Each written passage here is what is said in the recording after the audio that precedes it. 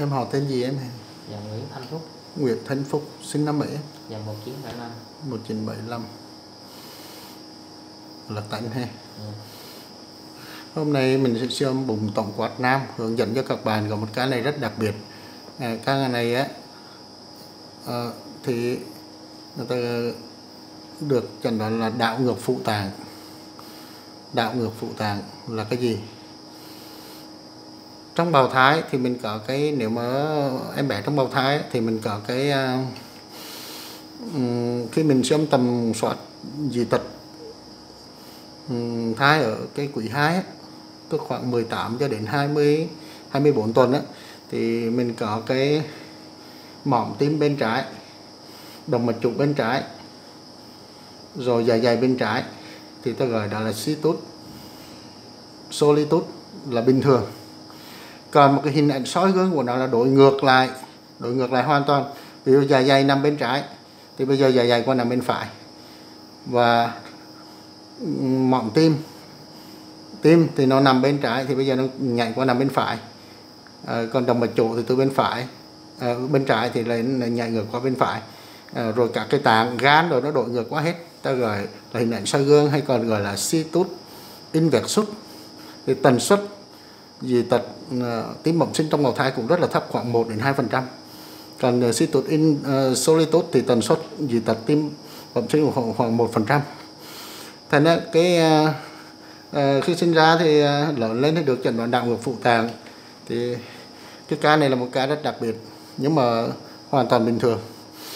Thì uh, mình có mình siêu âm. Thì uh, mình sẽ xem uh, mình siêu âm bình thường thôi thì mình sẽ thấy này. Ở mặt cắt dọc giữa thì mình không thấy cái thùy trại gan. À, thì cũng cũng cũng tùy bệnh nhân ha. Mình quẹt sẽ quạt qua hai bên. À, thì mình mình xem. Thì rồi bây giờ mình mình ờ, cắt mặt cắt. Dưới dưới bên hông sườn bên phải mình biểu bệnh nhân hít sâu vô để đẩy gan em hít sâu vô em.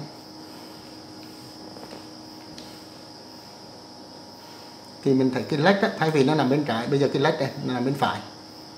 À, rồi mình cắt cao lên một xíu thì mình thấy cái dạ dày này. Dạ dày nó chữa dịch thức ăn đây. Dạ chữa dịch đây. Đây là dạ dày. Thì nó cũng nằm bên phải luôn ha lách. Thay vì nằm bên trái thì cũng nhảy qua nằm bên phải dạ dày, thay vì nằm bên trái cũng nhảy qua nằm bên phải. Rồi mình sẽ thấy tim tim thay vì nó nằm bên bên trái, mình kiểm tra bên trái này không thấy tim nhưng mà mình mình kiểm tra bên phải thì mình kiểu mặt cắt cao lên xíu thì thấy tim đang đập đây. Đây tim đây các bạn. Đây tim đây ha.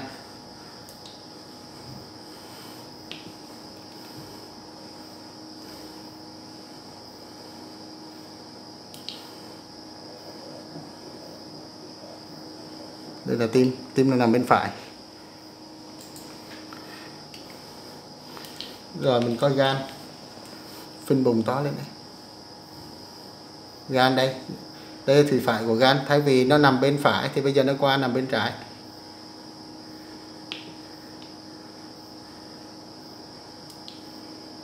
Đây cả cái tĩnh mạch gan ha.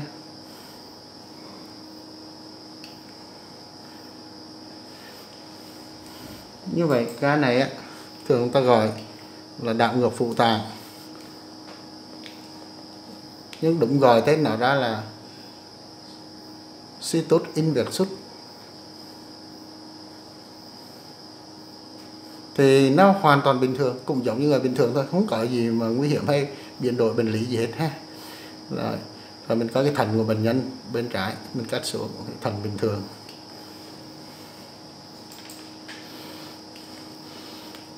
Thần phải bình thường nhé. Không có sỏi không ứ nước. Vỏ thần đây ở giữa trắng trắng đây là cái cái uh, tụy thần ha xung quanh đen đen đây ha. Đây là vỏ thần vỏ thần vỏ tụy phân biệt rõ. Đây là chức năng thần tốt ha. Mình cắt lên xíu mình thấy.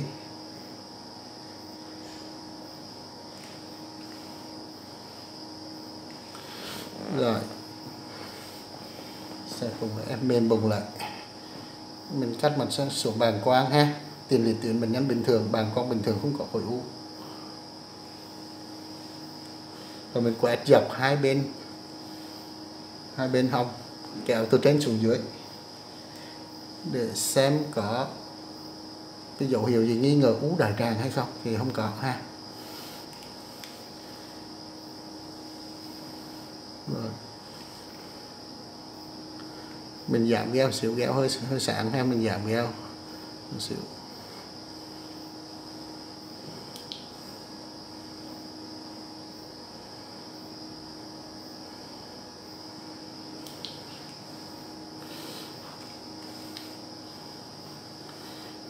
Bệnh nhân này họ có cái viêm gan B, nên là họ hay sợ cái ảnh hưởng cái gan ha.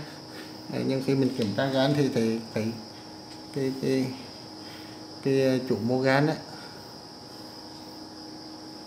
cái chủ mô gan như vậy cũng là bình thường ha không có vấn đề gì hết.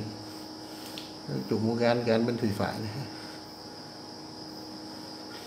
và đây cho kỹ hơn ấy, thì mình sẽ đổi qua đầu dầu con vét. Nãy giờ mình dùng đầu dầu con vét mình đổi qua đầu dầu linear để mình xem chủ mô gan rõ hơn.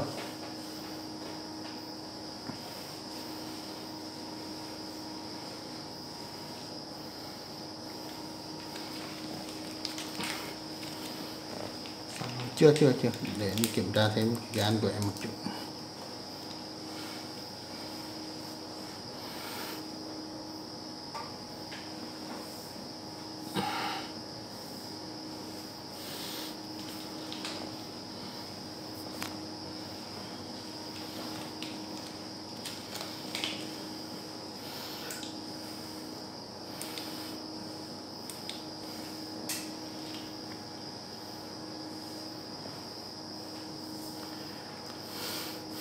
Mình thấy nó hơi tối thì mình chỉnh, mình xoay cái cái cái gen nha các bạn.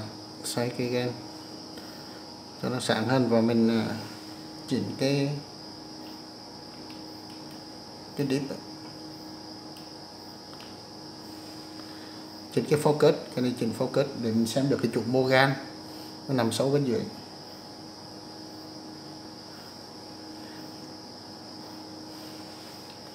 Chỉnh cái đít cho nó tăng lên một xíu, rồi mình mình tăng gel lên một xíu, tăng gel lên một chút. Em phình bụng to lên cho anh em phình bụng to lên.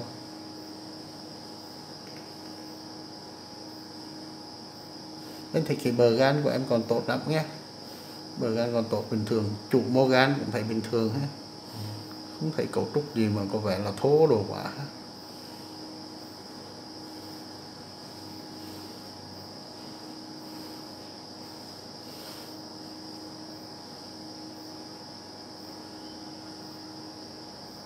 Thì bệnh nhân này được kết luận là bình thường thôi.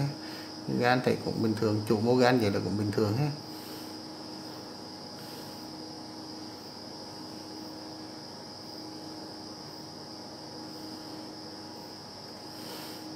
Thật sự là như nhiều bác sĩ họ cũng có thể kết luận cái gan em là cấu trúc hơi thô nhé. Cấu trúc hơi thô một chút. À, hơi hơi thôi nhé. Chứ nhìn cũng không có gì mà mà thô dữ lắm hay là nó điển hình hay rõ lắm của những cái bệnh nhân mà mà bị viêm gan mạn rõ. Em nếu trên xét nghiệm họ cũng, cũng có thể kết luận là viêm gan mạn.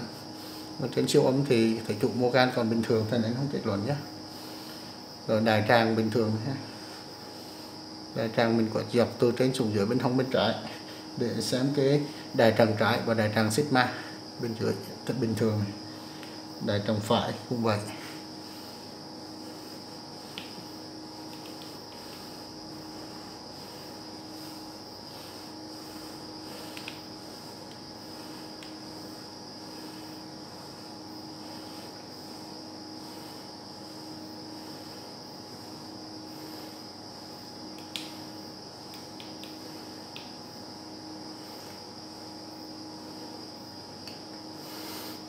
Bình thường ấy.